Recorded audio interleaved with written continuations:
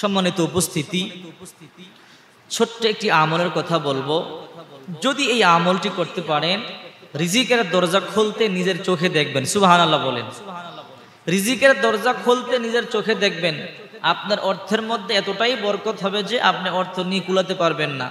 দুনিয়া আপনার কাছে অপমানিত হয়ে ফিরে আসবে। বিশ্বনবীর একজন গরিব সাহাবি এসে বলে রাসূলুল্লাহ, দুনিয়া আমার থেকে পশ্চাৎ বরণ করেছে। দুনিয়া আমার থেকে বিমুখ হয়েছে। এতটাই অভাবে পড়েছি, আর ভালো লাগে না আমাদেরকে সচ্ছল হওয়ার জন্য কিছু আমল শিক্ষা দেন। অগণবীজি রিজিক কমে গেছে, রিজিক প্রশস্ত হওয়ার মতো আমল শিক্ষা দেন। অর্থ কমে গেছে অর্থের মধ্যে বরকত হওয়ার জন্য আমল শিক্ষা দেন। বিশ্বনবী মোহাম্মদ রসুল্লাহ সাল্লাহ আলহি ওসাল্লাম ওই সাহাবিকে বললেন তুমি কি ওই আমল, ওই দোয়া ভুলে গেছো যা মানুষ এবং ফেরেস্তাদের সুহান আল্লাহ বলেন। তুমি কি ওই দোয়া ভুলে গেছো? আল খাসা ইসুল কুবরার তৃতীয় খণ্ডে এসেছে। রসুল বললেন, তুমি কি সেই দোয়া ভুলে গেছো?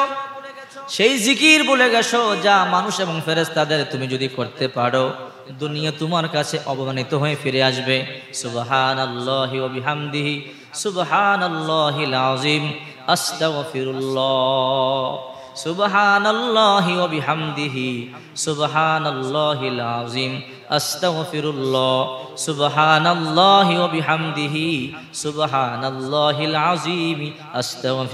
যাও, তুমি পড়ো। অভাব চলে যাবে, দুঃখ চলে যাবে, টাকায় বরকত হবে, রিজিকের দরজা খুলতে নিজের চোখে দেখবা। অর্থ শুধু চতুর্দিক থেকে আসতেই থাকবে। দুনিয়া অপমানিত হয়ে ফিরে আসবে। এক সপ্তাহ আমল করেছে সাহাবি। এতটাই বিশ্বাস অন্তরে নবীজি বলেছে, অবশ্যই কাজ হবেই। চলে গেছে বাড়িতে, গিয়ে আমল শুরু করে দিয়েছে। রসুল বলেছেন, সকালবেলা তুমি একশতবার পাঠ করবে, বিকালবেলা একশতবার পাঠ করবে। অর্থাৎ ফজরের পরে একশতবার মাগরিবের পরে একশতবার আল খাসা ইসুল কুবরার তৃতীয় খণ্ডে আসছে সুবহান আল্লাহ সুবহান আস্তাগফিরুল্লাহ।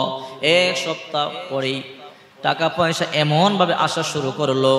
ওই সাহাবির অর্থের মধ্যে এতটাই বরকত হলো, বিরক্ত হয়ে নবীজির কাছে এসে বলল, ইয়া রাসুল আল্লাহ অর্থ এত হয়েছে, আমি অর্থ বন্টন করে শেষ করতে পারছি না।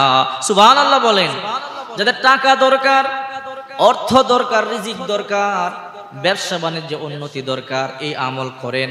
সুবহান আল্লাহি বিহামদিহি সুবহান আল্লাহিল আযীম আস্তাগফিরুল্লাহ। আল খাসা ইসুল কুবরার তিন নম্বর খণ্ডে বিস্তারিত পাবেন। এই আমল করলে দেখবেন টেনশন দুঃখ থাকবেন আল্লাহ অর্থে বরকত দিয়ে দিবে। সুবহান আল্লাহ বলি।